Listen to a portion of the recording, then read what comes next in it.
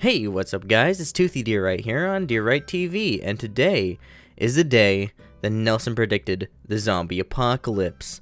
As you can see from the official Deadzone trailer, the original Roblox game that Nelson made that eventually became Unturned, I have been preparing for this for over a year now. I have spent over 80,000 hours boarding up my house and gathering food and ammo to last me the rest of my life. As you can clearly see, I don't plan on living very long, due to my pathetically weak body. But I have been sitting here for many hours, and I'm beginning to think the release date was wrong. If Nelson can't get this release date correct, I now see why there is no release date for Unturned 2. It wasn't because he didn't want unnecessary pressure from the community while making it, it was because he knew that people were already going to be disappointed with the apocalypse itself being wrong. My disappointment is immeasurable, and my day is ruined. An orange hoodie, my favorite color. My day is no longer ruined. Nelson, I accept your gift and I forgive your inability to predict the end of times. But I guess now we can talk about the infection in Unturned 2, as it's the first time we ever get to witness someone turning. This is a very big moment and I haven't seen many people talk about it specifically. Nelson himself has stated that lore-wise, the virus won't have you turn just from dying, like The Walking Dead.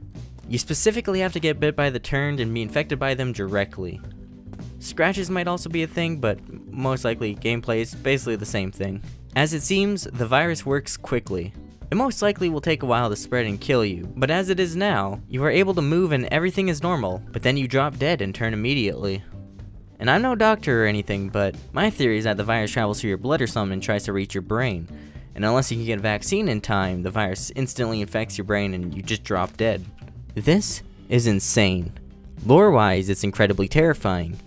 And as it seems, it's so fast to kill you, it might actually be painless. What the turn did to you is most likely the painful part. Gameplay wise, if your friend or someone in a room with you turns, you would have to pull out your weapon damn fast. you wouldn't even be able to tell before it was too late. Imagine the stuff you could do.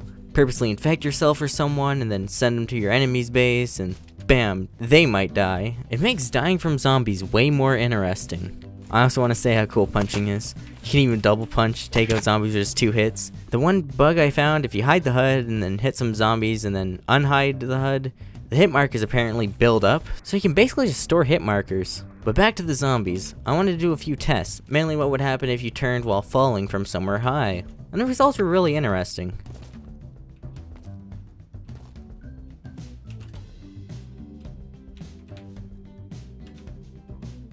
I ended up spamming the command a few hundred times, and that was just really cool.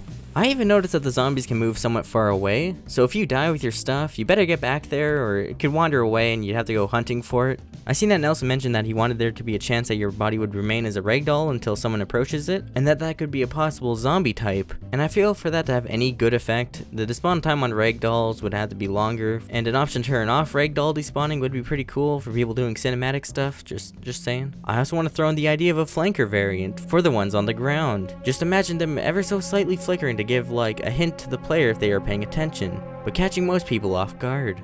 Anyway, I hope you enjoyed this video. Tales of the Unturned Episode 2 should be releasing on the 12th of this month, 20th by the latest, hopefully. And for anyone interested, I am selling some shirts and stuff on Teespring, link in the description. The one design I have on there right now is the Seppuku Waffles and all that, which is really cool. What Seppuku Waffles basically is, is a restaurant that's going to be in Tales of the Unturned. So if you want to support the channel and you like the design, maybe check that out. I'm also planning some other designs for the shirts too, so that will be pretty cool.